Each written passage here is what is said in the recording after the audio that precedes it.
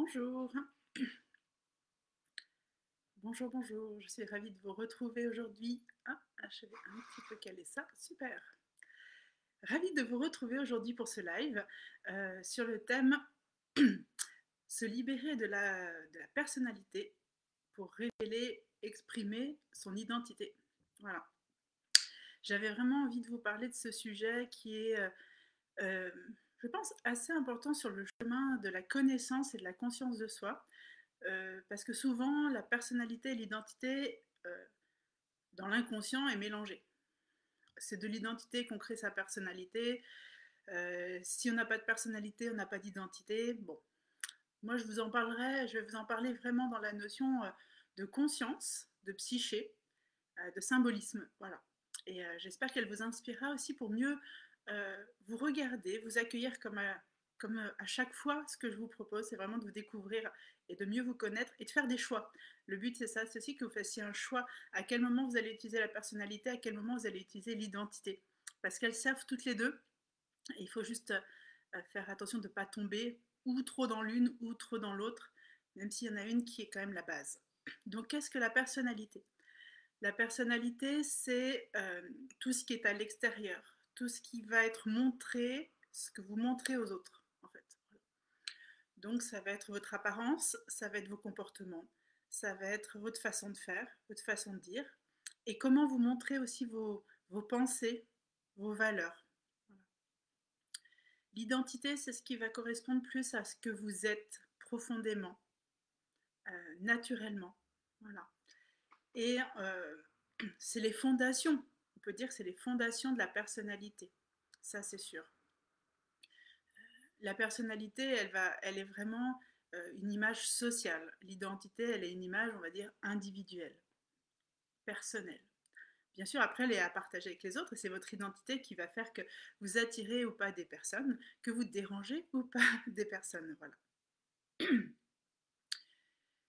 Euh, mais il est important de, prendre conscience de ces deux phases et de ces deux aspects, comme je vous disais, complémentaires.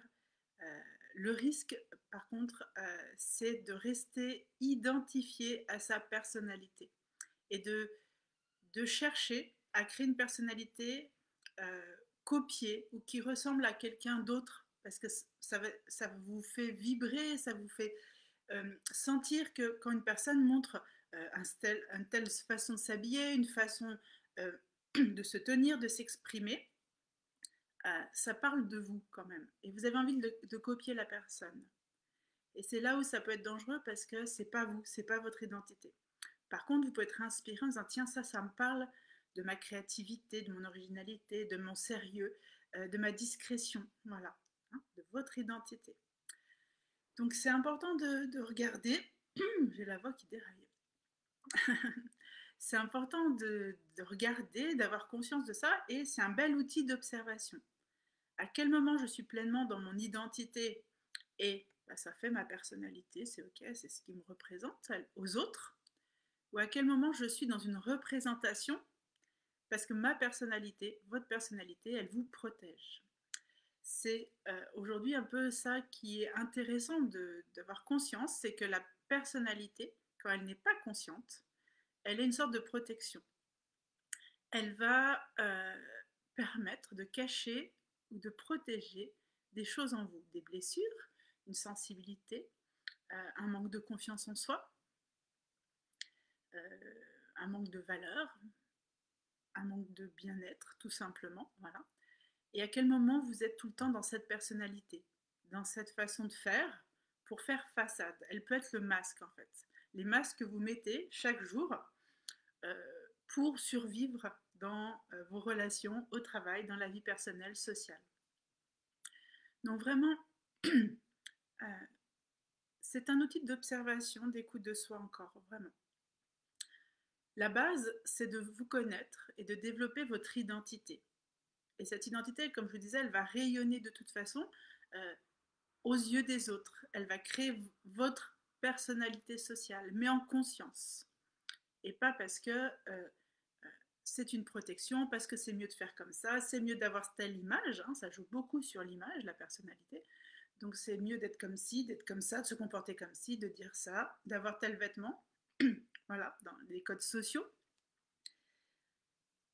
Donc à quel moment c'est vraiment euh, votre identité ou votre personnalité qui parle? Et c'est ça l'observation.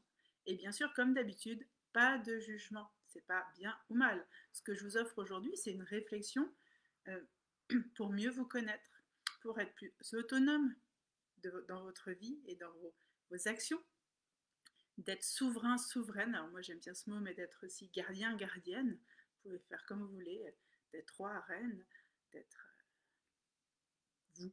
Voilà.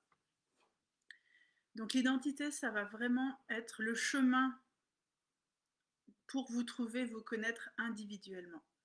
Et ensuite, bah, comment vous allez le montrer aux autres bah, Ça, ça va venir dans vos désirs. Il y a des personnes qui vont avoir, qui vont, qui sont très extraverties, euh, mais qui vont pas avoir besoin de le montrer spécialement. Dans leur nature, voilà, quand on est dans notre identité, voilà, euh, moi j'ai pas besoin d'avoir euh, peut-être les cheveux rouges, d'avoir des lunettes très stylées, des vêtements très stylés. Pourtant, bah, on sait que je suis extravertie, les gens ils le voient par ma façon d'être, par le fait de, laisser aller euh, ce que je ressens, de le dire, de partager, de rire, de pleurer dans, dans, mes idées. Voilà, c'est pas tellement dans la matière pour moi. Mais ça ne veut pas dire que ça peut pas être. Si vous êtes bien avec ça, c'est ok aussi. Mais c'est aligné. C'est ce qui fait que votre authenticité aussi, le fait d'être dans votre identité. Après, ça peut être intéressant d'utiliser une personnalité, euh, votre personnalité quand vous êtes conscient, euh, dans certains milieux où votre identité, pas qu'elle est malmenée, mais elle n'est pas en face de gens qui peuvent l'accueillir pleinement. Donc ça peut être euh, vraiment un outil là de vraie protection en conscience. Je, vais utiliser une certaine personnalité. Alors, il ne faut pas y jouer tout le temps, parce que vous pouvez vous y perdre, mais ça peut être une protection. Ça peut être vraiment un moyen de dire, ok, euh, je vais là un petit peu euh, prendre cette posture, parce qu'en face de moi, j'ai une personne qui prend telle posture, donc je vais prendre la même en fait. Je vais créer une personnalité un petit peu pour voilà, faire, faire façade sans mentir, mais pour renvoyer à l'autre. Hein. On est dans, là, c'est par rapport à l'autre. Euh, récemment, j'ai écouté une interview sur euh, les personnes hypersensibles euh, au potentiel. Et la personne qui parlait disait que l'un des défauts des hypersensibles, alors défaut, on se comprend, c'est de vouloir montrer tout de suite toute sa sensibilité. Souvent parce qu'il y a un besoin de reconnaissance, parce qu'on ne se connaît pas bien, on ne sait pas quoi faire mais il invite les personnes sensibles, très sensibles, à ne pas cacher leur sensibilité, à l'utiliser, à la reconnaître déjà, à en prendre soin. Mais face euh, au milieu du travail, par exemple, si on est au milieu d'un groupe de, dirigeants euh, dans un mode, euh, on va dire, neurotypique, classique, où c'est plutôt la logique, la, réussite, comment dire, la, force qui prend le dessus, par exemple, ben, de connaître, de se connaître, d'utiliser sa sensibilité pour soi, mais du coup d'utiliser une certaine personnalité pour renvoyer et être même, dans le même miroir que l'autre. Par contre, soutenu par sa sensibilité. Donc ça, c'est un exemple. Alors moi, je parle de ça parce que ça m'a parlé.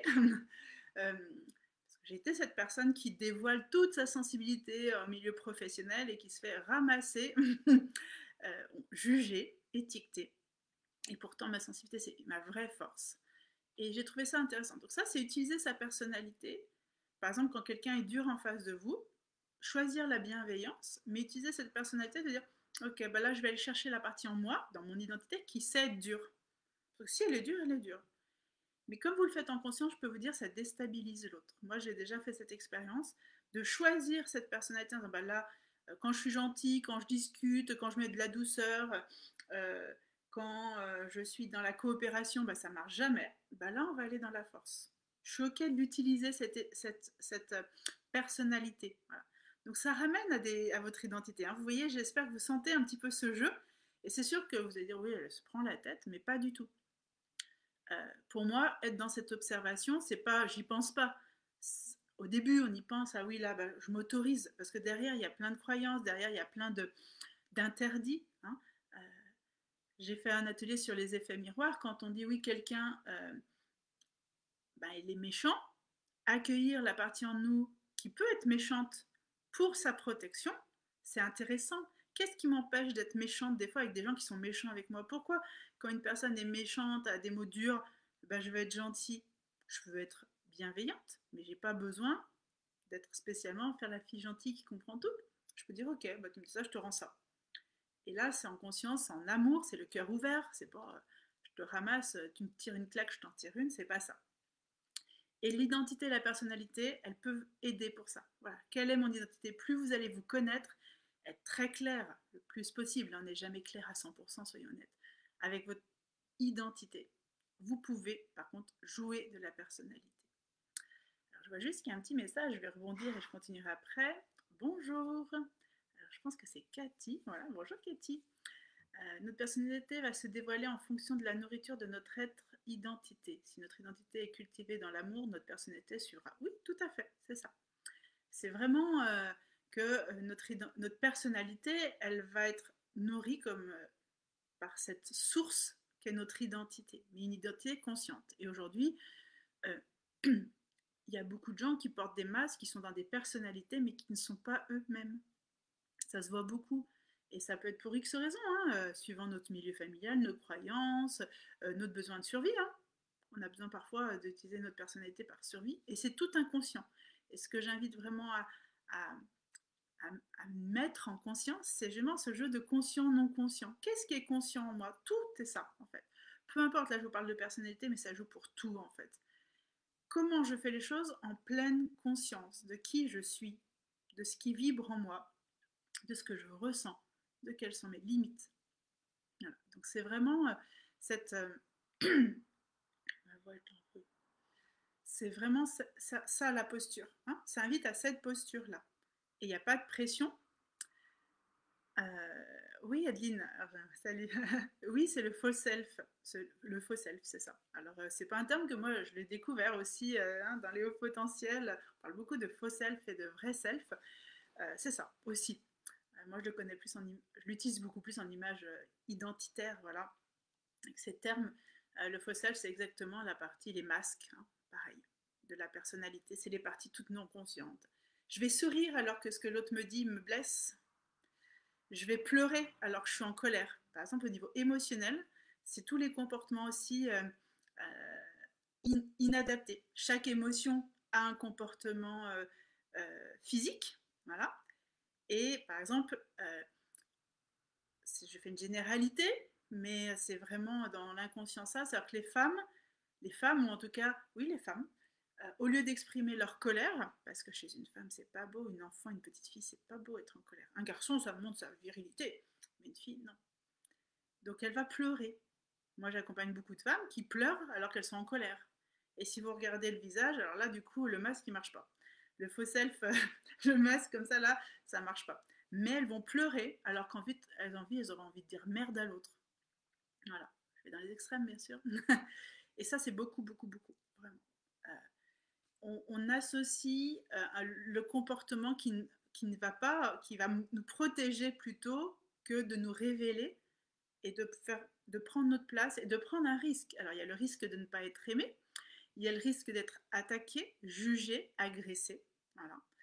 Euh, ça, alors, chez les hommes, là j'ai un jeu homme-femme de genre, hein, mais même si je suis euh, pour le non-genré justement, et quand c'est pas genré, ben, chacun a le droit d'utiliser tous ses potentiels yin et yang, ses énergies intérieures, ses postures hein, intérieures pour les montrer. Donc, euh, et chez les, hommes, il va y avoir peut-être cette image, alors chez les femmes c'est les pleurs, chez les hommes ça va être cette image de devoir être justement guerrier, d'être dans cette colère, dans cette force là, tout le temps. Je me positionne et je dis tout le temps que je suis fort, je montre que je suis fort. Ce n'est plus le cas de tous les hommes, mais il y a même dans les hommes sensibles, hein, moi je, connais des hommes sensibles, j'ai accompagné des hommes dans leur, qui ont envie de trouver une autre façon de faire, mais il y a une sorte de, protection, il faut montrer ça en société, euh, dans le couple, par exemple, l'homme qui a besoin. attention, il y a beaucoup d'enjeux hein, là-dedans. Hein. Là, je vous donne des sujets, mais euh, il y a beaucoup d'enjeux inconscients encore. Donc c'est ça qui est intéressant, c'est que plus on va aller chercher son identité propre, plus on va montrer une personnalité qui est alignée. Et du coup, c'est ok, on a tous besoin de ça. On a besoin de montrer. Hein. L'identité, c'est intérieur, la personnalité, c'est l'extérieur, le lien à l'autre. Et euh, on vit avec les autres. Et on a tous, vous voyez, moi j'ai mon identité, à force de voir mes vidéos, peut-être que vous connaissez, vous voyez comment je fonctionne. Mais à chaque fois, bah, je prends le temps d'être authentique. Et est-ce que j'ai envie de dire ça ou pas envie? Moi, ça m'aide aussi beaucoup cette observation à me dire à quel moment je me mens à moi-même. C'est aussi ça. Et quel est le besoin que je nourris pas? Donc, euh, je vous fais un assez large. Mais moi, ça m'emmène sur plein, plein de réflexions en arborescence. C'est-à-dire, bah, là, euh, toujours pour aller vers une meilleure, une meilleure version. Euh, la, version de moi-même la plus authentique. Voilà, c'est ça. Et pas parce qu'on le paye hein, quand on est dans les masses, quand on est dans le sève, quand on est que dans la personnalité. On le paye. Euh, et les gens, ils vous ils voient. Je peux vous dire, moi je le sais, c'est vraiment une sensibilité chez moi, euh, de, sentir les gens qui me mentent. Alors moi j'ai souvent dit, vous l'avez peut-être déjà entendu, j'ai souvent dit que longtemps je, disais à, mes thérapeutes, je ne comprends pas, mais les gens, j'ai l'impression qu'ils me mentent tout le temps. Donc maintenant, ceux qui savent vraiment ce que je fais, euh, voilà, je travaille sur l'identité, je travaille sur l'image de soi, l'image qu'on montre et comment on est, quelle image on a de nous-mêmes. Donc il n'y a pas de hasard, c'était mon chemin de vie. Euh, parce que effectivement, moi j'ai quelque chose dans le langage non verbal entre la personne qui, qui elle est, ce qu'elle vibre. Alors on va pas parler d'identité parce que je pourrais pas définir avec des mots, mais au niveau vibration, ça se sent ça. Au niveau énergie, comme quand on voit quelqu'un qui sourit, bien sûr, vous l'avez vécu, quelqu'un qui sourit, qui est très gentil, puis je sais pas, il y a un truc qui va pas. Vous sentez.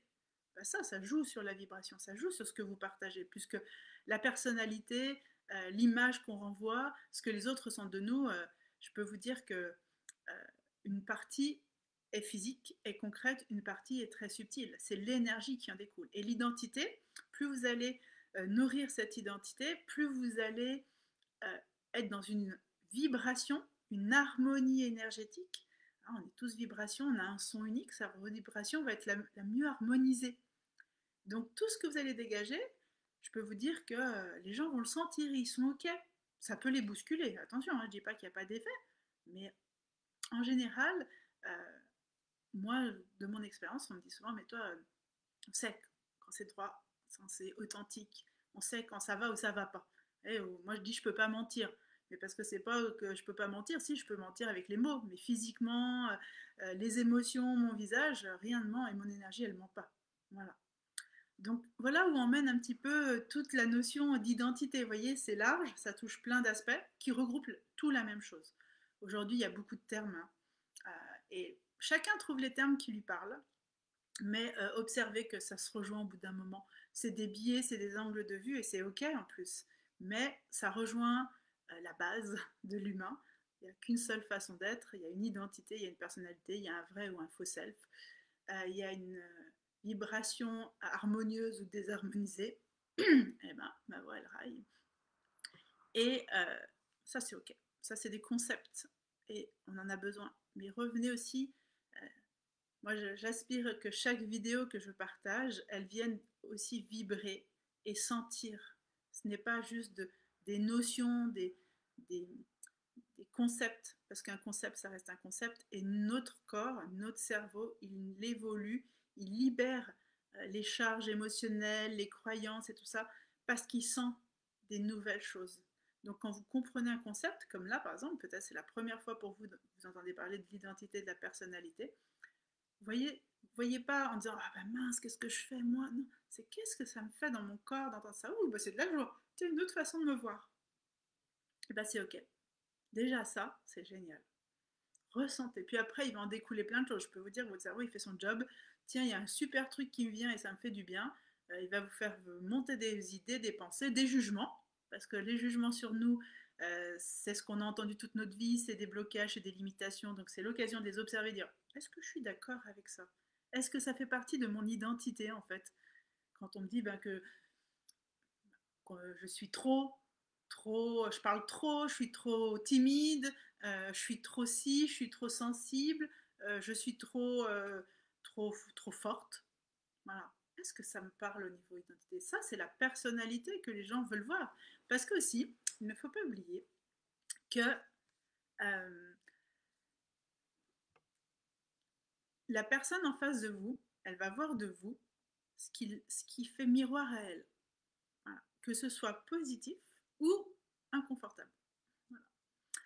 Donc la personne, par exemple, qui ne veut pas utiliser sa force, elle va voir en vous que vous avez trop de caractère. Vous avez trop, oh là là, celle-ci, elle a trop de caractère, elle a trop sa gueule. voilà.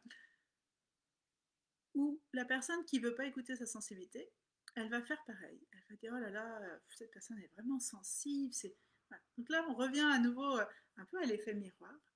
Et ça lui appartient. Dites-vous bien que la seule chose que vous avez à faire, c'est pas de changer la vision que les autres ont de vous-même, mais c'est à vous de, faire évoluer l'image que vous avez de vous-même, surtout. c'est là le vous-même. Donc, euh, et vous pouvez rien faire.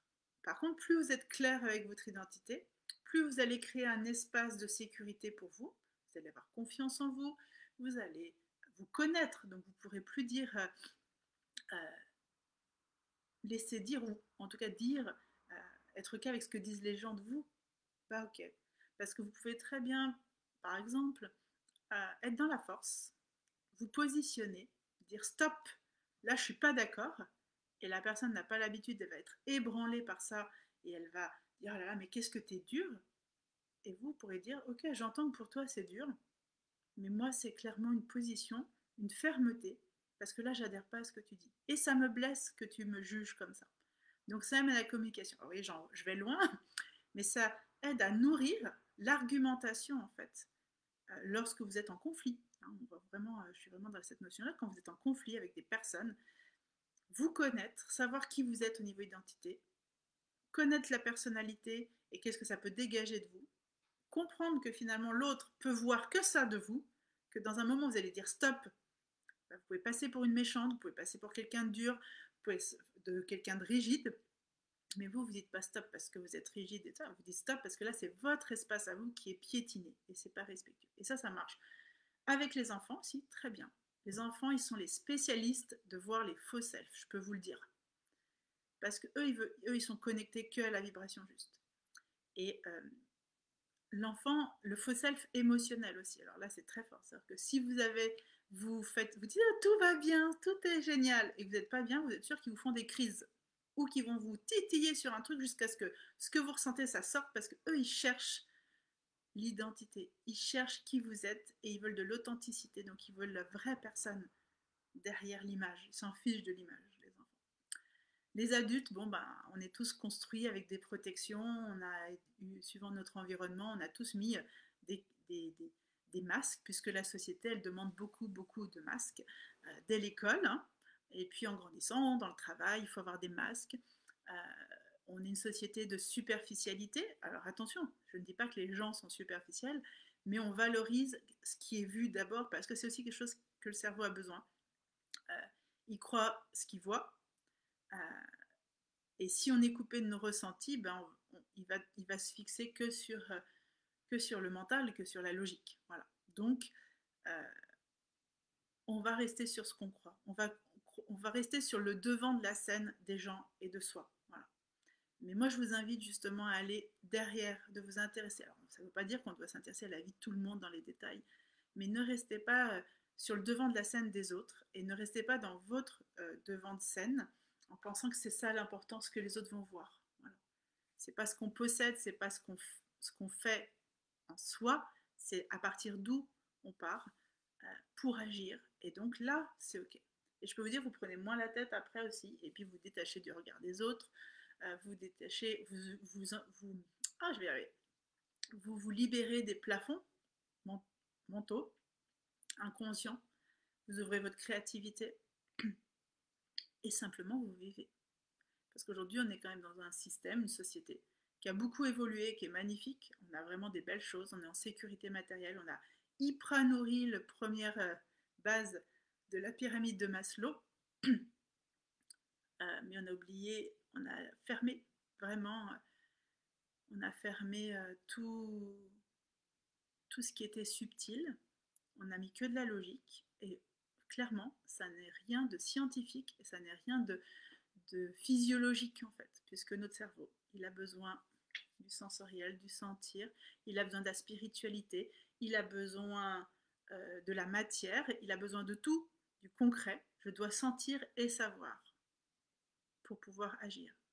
On peut faire les choses par intuition parce que notre corps il sent beaucoup plus de choses que on peut savoir parfois. Mais quand on sait pourquoi on fait les choses, c'est encore plus puissant, encore plus aligné, on nourrit sa confiance en soi, son estime de soi, sa valeur de soi. Et là, on est en action et dans une posture. Et on n'a pas besoin d'hurler, on n'a pas besoin de crier pour se faire entendre, on n'a pas besoin de brasser de l'air toute la journée pour obtenir. On a juste à agir aligné. Donc voilà. Je pars un peu loin, mais ça, vous me connaissez maintenant. Pour moi, c'est une vision vraiment toujours en arborescence des choses. Et c'est mon cadeau. C'est parfois difficile. Euh, tout le monde n'entend pas comme ça. Mais ça, c'est ce que j'ai à vous offrir, de voir que tout se rejoint, tout est lié. On est lié intérieurement, tout est relié en nous, toutes les parties, on n'est pas séparés. Et puis on est relié aux autres aussi. Alors Cathy, pas que dans l'école, ces masques, on les acquiert au départ par nos parents qui essaient de faire de leur mieux. Euh, oui, c'est vrai, c'est vrai, Cathy. Euh, on apprend ces masques par rapport aux masques euh, des parents. Mais on ne va pas s'attacher à tous les masques, on ne va pas s'attacher. Parfois, il y a des parents qui portent des masques et les enfants, ils les explosent ces masques, voilà. Pour moi, la maison, alors ça dépend bien sûr du milieu familial. Hein, il y a tellement de conditions, l'environnement joue beaucoup sur notre développement, bien sûr. Par contre, on a une personnalité. Pour moi, ces masques, ils s'intègrent vraiment parce qu'il y a répétition. Il y a les masques dans la famille, euh, il y a les masques qu'on retrouve finalement euh, dans la société à l'école, on va répéter les mêmes valeurs souvent, euh, les mêmes recherches, voilà, il y a à peu près les mêmes choses. Et puis après au travail, avec les amis. Et ça, ces masques-là, aujourd'hui, il y a des masques par exemple de la gentillesse, le masque de la gentillesse, euh, eh ben d'être gentil. On doit être des gentilles personnes. C'est quoi d'être gentil? C'est quoi pour vous être gentil? Est-ce qu'être gentil, c'est que tout le monde voit que vous êtes gentil, vous criez jamais, vous vous, vous énervez pas? Par exemple, dans la parentalité, on parle des enfants. Des bons parents. Le masque du bon parent parfait. Celui qui écoute ses enfants, où tout est rose, où on fait des, plein d'activités. Moi, je suis une maman comme ça, j'adore, parce que c'est ma nature, j'adore faire ça. J'adore faire des activités, j'adore m'asseoir et écouter mes enfants pleurer, crier. Mais parfois, je crie aussi. Parfois, je suis imparfaite. Vous voyez, avec les émotions, moi, quand j'accompagne des parents, je leur dis, mais c'est super de transmettre à vos enfants vos émotions, de parler des, enfin, de transmettre la notion des émotions avec des livres, avec essayer de les écouter, tout ça. Mais est-ce que vous vous pleurez? Est-ce que vous vous êtes vulnérable? Est-ce que vous êtes parfois, vous vous loupez et vous vous excusez? Voilà. Ça, c'est important. Donc oui, il y a les parents. Il y a, tout, en fait, tout l'extérieur. Parce que euh, bah, aujourd'hui, et commence, parce qu'il y a vraiment plein de choses, mais aujourd'hui, soyons honnêtes, on n'est pas encore dans cette conscience. On est encore dans la posture de la survie. Il y a des parents, il y a des personnes, on en parle de plus en plus, qui sont en train d'eux-mêmes prendre soin d'eux pour transmettre à leurs enfants et enlever les masques. Les masques de, de tenir le coup, d'être fort, de, la survie, voilà, pour aller vers les, les postures de l'amour, du respect, l'individualité, parce que voilà, avoir conscience que son enfant, de toute façon, euh, il, ne, sera jamais nous, il est lui-même, euh, et de l'aider à développer cette singularité. Mais pour ça, il faut avoir vraiment en soi déjà une bonne, euh, une bonne partie de nous apaisée en amour de soi. Et les enfants sont des cadeaux pour ça, pour ouvrir les portes qui sont dérangeantes. Mais là, on n'y est pas encore. Et c'est vraiment pour moi toute cette répétition qui fait qu'à un moment, ça devient un masque parce qu'on se dit, mais il n'y a pas d'autre choix. Donc là, on est en évolution, je parle d'un sujet qui est vraiment un chemin de conscience individuelle. Euh, moi, je suis... Euh, le mot juste. C'est pas de la croyance. C'est pas... Pas un savoir. Je suis convaincue, ouais. Je suis convaincue, après tant d'années euh, de cheminement personnel, extérieur, que la base de tout pour vivre avec les autres, c'est d'abord savoir vivre avec soi. Et c'est pas, euh, c'est pas un truc, il n'y a rien de spirituel, enfin, il peut y avoir de, l'inspiration spirituelle, mais c'est purement technique, si vous voulez aussi. On peut le regarder dans la technique, c'est que notre cerveau, il a plein d'infos. Et, grandir, devenir adulte, c'est se connaître Pour moi, il y a vraiment quelque chose d'hyper pragmatique, même si je vais puiser dans la science et je vais puiser dans la spiritualité, dans le développement personnel et dans tous les domaines euh, de l'inspiration, la motivation et du sens à pourquoi faire ça. Euh, c'est vraiment euh, très pragmatique. C'est l'évolution. Moi, je suis convaincue que c'est l'évolution aujourd'hui.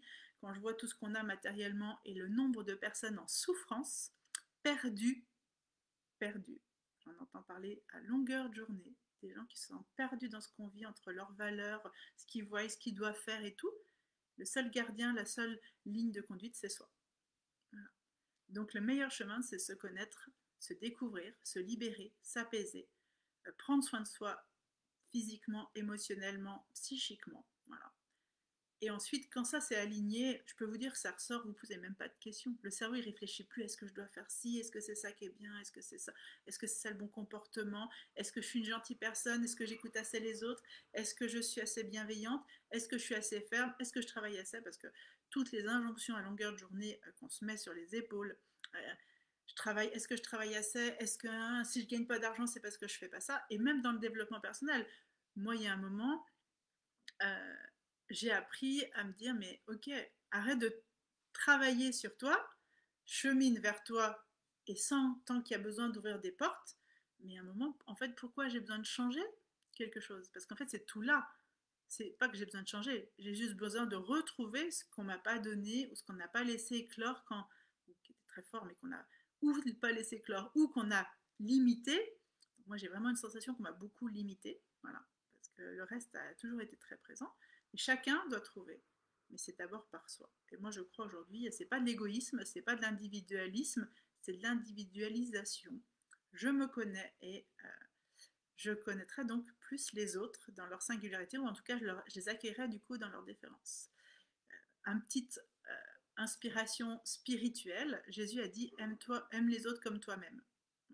Et en fait, pour aimer les autres, il faut se connaître soi c'est très, voilà, là c'est de l'inspiration spirituelle, mais euh, ça peut nous guider, voilà. Parce que moi, je, la spiritualité, c'est très important.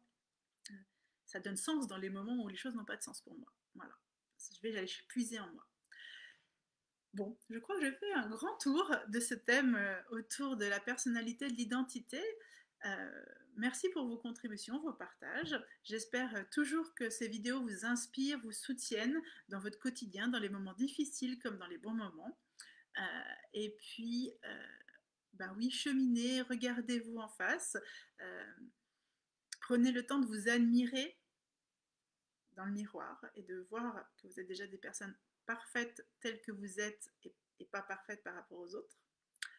Et puis, ben, bah, merci, merci. Je suis toujours en joie chaque fois que je fais un live. C'est de plus en plus de la, joie parce que moi, justement, j'ai beaucoup posé cette personnalité. J'ai beaucoup euh, cheminé là-dessus. Et euh, ces derniers temps, j'ai vraiment accueilli euh, de poser tous les masques. Les derniers qui me protégeaient, qui protégeaient cette petite fille à l'intérieur, je les ai regardés, je les ai bercés et je me suis dit, ben ok, ben, si ce que je suis, on n'aime pas, c'est ok. Ça ne me changera rien parce que je sais que j'ai de l'amour de toute façon, j'en aurai, je recevrai. Et puis je sais que je m'aime déjà, que j'ai de la valeur. Donc euh, c'est pas juste sentir, c'est pas juste savoir là, c'est c'est quelque chose qui, émane de là vraiment comme comme une vague, comme une lumière. Il n'y a plus à réfléchir.